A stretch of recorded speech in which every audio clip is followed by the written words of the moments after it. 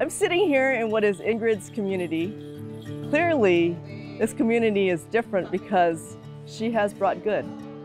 She has brought good into their lives. One of the most interesting healings that Jesus performs is the healing of the blind man at Bethsaida.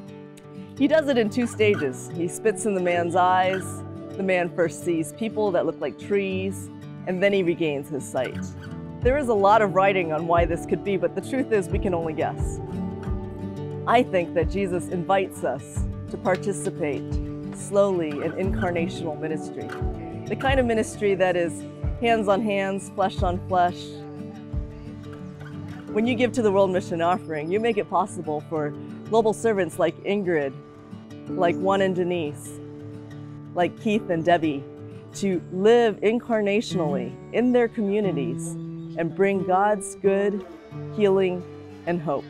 Thank you for making all of this mission possible.